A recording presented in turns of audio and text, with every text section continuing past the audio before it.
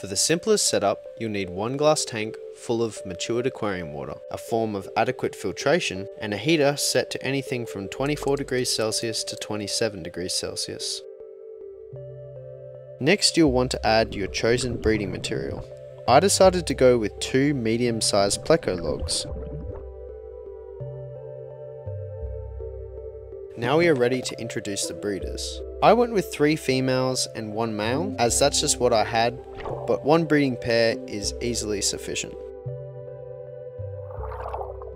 As you can see, the male bristlenose has a face full of little worm-like bristles.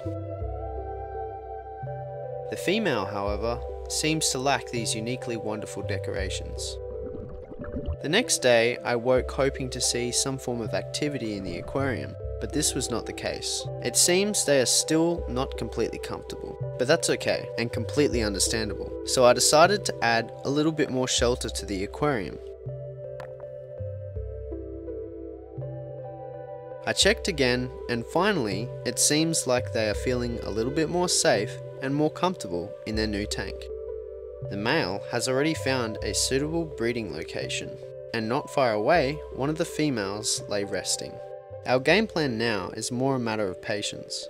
Although to speed the breeding process along a little, I decided to feed a higher protein food to the tank, an easy to feed insect based food, Bug Buffet and in no time, the food is hunted down by our big female.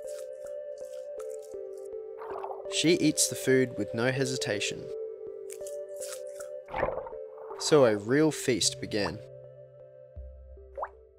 The tank is quite cloudy from the feast of Bug Buffet. Upon closer inspection, the same female that was seen eating the food the night before is super fat and lays in the cave directly beside the male. In the blink of an eye, she makes a beeline for the entrance of the occupied cave. This is their chance to breed. After several minutes of struggling, pushing, and interruptions, we see a breakthrough. The female finally gets past the barricading male, but there's a problem. She has to turn around in order to properly lay her eggs.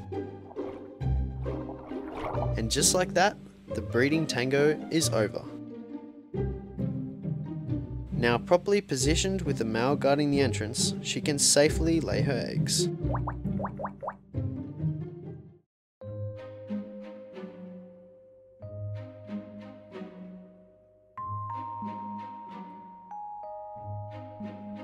We can finally see some movement. It seems our big female has left the nest. Her job now is done. It's time to take a look and see what's inside the cave. Just look at those eggs. There's so many. The male is doing a great job of fanning fresh water in and out of the cave.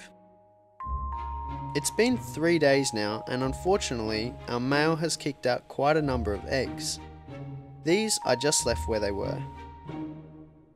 And look, some seem to be already hatching. And for the next two weeks, we can see the little tiny eggs develop into teeny tiny fish. It's such a fascinating process and so much fun.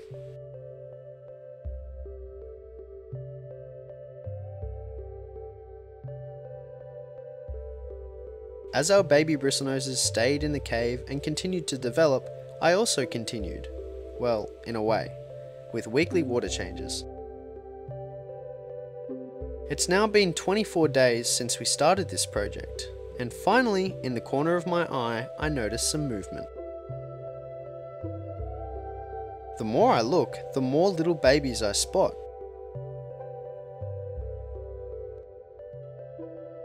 So in the hope to bring them all out, I decided to add some food. Choice of food? Zucchini slices.